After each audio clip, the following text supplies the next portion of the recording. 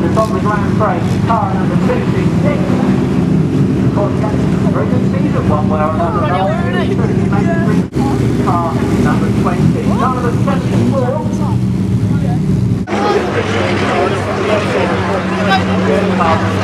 Car number 146. And 147.